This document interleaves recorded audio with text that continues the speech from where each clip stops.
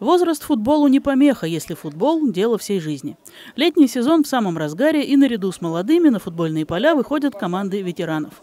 На спортивной базе в поселке Образцово по выходным проходят игры открытого первенства городского округа Щелково среди ветеранов 40+. В турнире участвуют 11 команд из Щелкова и соседних городов. Вот на зеленом газоне сошлись соперники из Фрязинского «Олимпа» и сильнейшей щелковской команды МКМ. Первенство городского Хрущевка сейчас собой представляет открытое первенство практически всего северо-востока Московской области. То есть все лучшие команды ветеранов у нас в Щелке участвуют. Это юбилейное первенство. В этом году мы отмечаем 20 лет. Формат летних ветеранских игр отличается от классического большого футбола. Играют 8 на 8, два тайма по 25 минут. А есть еще зимнее первенство, когда те же ветераны 40+, проводят между собой мини-футбольные матчи в зале.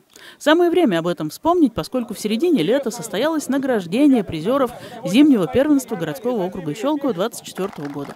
Церемонию провел советник главы городского округа Николай Павлов. Третье место в турнире заняла команда «Глобал» из Ивантеевки. Второе – Щелковская МКМ. Главный кубок тоже уехал в Ивантеевку усилиями команды с одноименным названием, у которой в некотором роде щелковские корни. Ивантеевка – это как бы все выходцы из э, чемпионской команды Гребнева.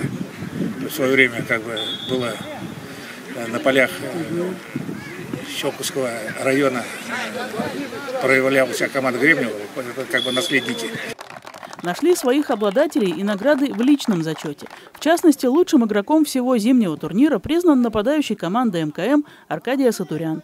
Любителям футбола он известен как игрок знаменитого в прошлом мини-футбольного клуба «Спартак» Щелково, а в последние годы тренер различных взрослых и детских команд. Зимний футбол, летний футбол. Есть разница для профессионала? Да нет, конечно, никакой разницы. Зимой в зале, ну, немножко другие условия, а футбол, он есть футбол. Знаете, как если э, всю жизнь отдавать футболу, то без разницы играть в мини-футбол или на улице. Конечно, хотелось бы и победы в турнире, но пока у нас это не получается. Ивантеевка постоянно нас опережает, что в мини-футбол, что в большой футбол имеется летом. Еще одна индивидуальная награда зимнего первенства приз лучшему защитнику досталась игроку МКМ Юрию Королю, который летом великолепно проявляет себя и как нападающий, забивая в ворота соперников голы на любой вкус. Один, один, один, один! Если вернуться к летним играм, то пока в турнире расклад сил такой же, как был зимой. Лидирует Ивантеевка, следом идут МКМ и Глобал. Достается от них соперникам. В сумме в прошлом туре три лидера забили 31 гол, пропустили всего 4. Первенство городского округа Щелково продлится до 30 сентября. Ирина Микеда, Щелковское телевидение.